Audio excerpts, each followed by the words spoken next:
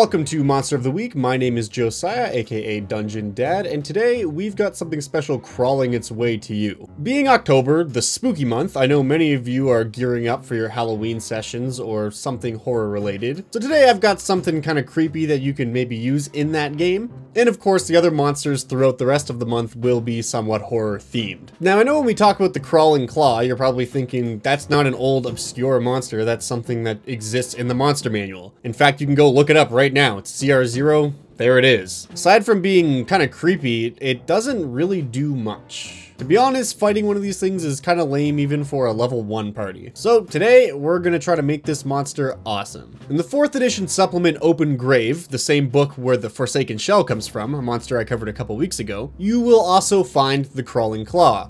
But what's interesting is you won't find just the Crawling Claw. You will find something called the Crawling Claw Swarm. And as I said, just one of these things isn't really anything to be too worried about. It can be a cool kind of set piece to set the tone for a Necromancer's Tower or something like that. However, a swarm of these things is definitely something to be afraid of. So today, aside from being a pile of hands, we're going to talk about just what this creature is and can do. We're going to talk about some ways to improve this monster, make it a little more deadly and a little more interesting, and of course some ways that you can use this monster in your game. Now, like just about every swarm in 5th edition D&D, this creature is going to be resistant to non-magical damage. This, of course, is because when you have a swarm of things, if you're just swiping and cutting a few of them down, it's not really going to do a whole lot to the overall group. However, unlike any of the swarms in D&D 5th edition, this one is comprised of a bunch of hands, or claws as it were. They're pretty fast with a speed of 40, which means they're not going to be zipping around the battlefield, however they will be able to outrun 90% of your PCs. They've also got a climb speed of 20 though, meaning that they can navigate fairly easily around dungeons and tunnels. So just imagine setting up a situation where the party has to get down a long corridor and then they're cut off from behind by a swarm of crawling claws. If you've got severed humanoid hands crawling along the ground, walls, and ceiling chasing after them? If that's not horrific, I don't know what is. And as far as seeing their targets, as you would expect, these guys rely on tremor sense. This kind of mixes things up a little bit because for one, being quiet isn't going to help you sneak around a swarm of crawling claws. You could be the stealthiest rogue in the world, but as long as you are physically touching the ground or some surface, they will be able to see you. See you. They'll know you're there. However, one kind of cool thing here is if the party has a way to levitate or temporarily fly or something to that effect, they can essentially sneak by a room of these no matter how close they actually get to the creature, as long as they're not touching them or the ground, the crawling claws will be unable to see them. As far as actual attacks that deal damage, they have only one. It's called Swarm of Claws, and it does a pretty respectable amount of damage. It's not going to outright kill someone in one attack, well, hopefully not, but it's enough to make this creature a real threat, and the players aren't going to want to be mauled by a swarm of claws. Go figure. Now, that is all that's in the book. And to be completely honest here, I'm not faulting the designers because that is realistically how you would expect a swarm of crawling claws to behave. The real value in this creature, much like the crawling claw itself, is the creep factor. They're very good at creeping out players and being used as more of a set piece for a horror or undead themed dungeon more than an actual threat. However, I've got some ways we can modify this monster to make it a little more menacing. For starters, I think this creature should absolutely have the ability to hold its targets in place. So I've added an ability to the Crawling Claw swarm that states, if a creature starts its turn within 5 feet of the swarm, it has to make a dexterity save. If it fails, its move action is consumed by the Crawling Claw swarm, as all these hands are grabbing onto the creature and holding it in place. If it succeeds, it's able to move, but only at half its speed. The rationale behind this is because in order to succeed your Dex save, you're basically pushing off all these hands that are reaching up and grabbing onto you. The specific wording here functions exactly like the spell Entangle. I feel pretty confident about giving the creature this ability because, as we all know, the spell Entangle isn't really broken and giving it to this creature shouldn't be a problem. It's going to be an inconvenience for the players for sure, but it's not going to be something so powerful it outright kills them. Now, the other thing I couldn't help but wonder while I was researching this monster is what if we had a giant claw? And I don't mean one of these undead hands that someone enlarged.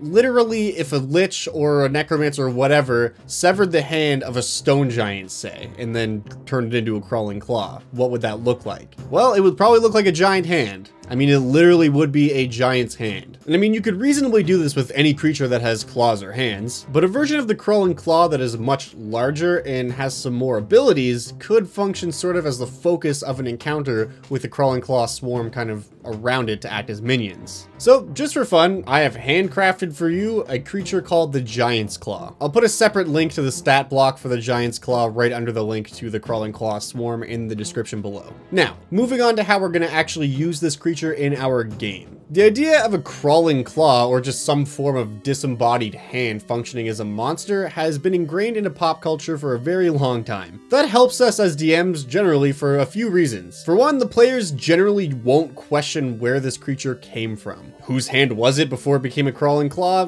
Doesn't really matter, it's just a crawling claw hand monster. They're simply evil hands, possibly under the control of a necromancer or some other creature.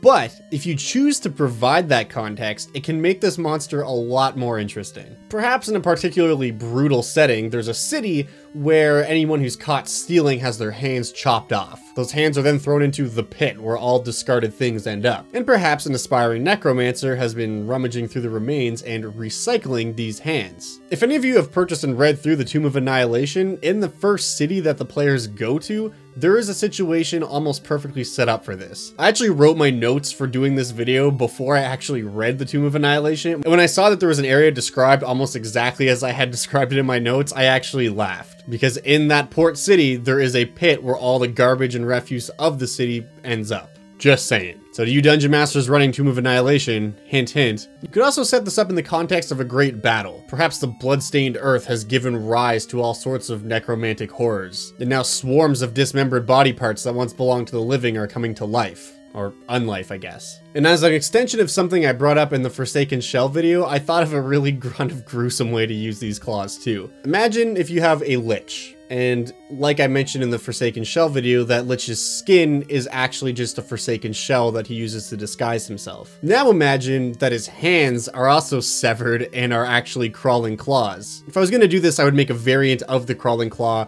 that maybe did a little bit of necrotic damage and was able to levitate. So now you've got this undead necromancer who when the party approaches him, his skin kind of unzips and peels off, revealing it's a separate monster, and then maybe each of his hands come off and start floating on either side of him, revealing they are also two separate monsters. If you really want to go all the way here too, you could even make the skull of the skeleton a flame skull, or if it's a high level encounter, a demi-lich. And then of course the body would just function as a skeleton. So you've basically got these five different undead creatures kind of making up one thing. Perhaps some undead or evil magic user has suffused his consciousness into each aspect of this amalgamation basically what I'm getting at here is using some of the monsters I've covered as well as a couple of them that are in the monster manual, you could make the most terrifying undead version of Voltron in the world. Now that is all for today, and this was hands down one of the most fun times I've had researching a monster. If you enjoyed listening to me talk about it and you want to see more, please subscribe to the channel. I have at least one new video every week. And if you're interested, we've also got a Reddit, Facebook, Twitter, all that good stuff set up. You can find the links to that in the description below. And if you want to give me a hand in another way, I do have a Patreon set up now as well. And I do want to give a special shout out to those of you who have already signed up with the Patreon because as is no secret, I'm kind of new to this and for you guys to just support me right at the get-go means the world.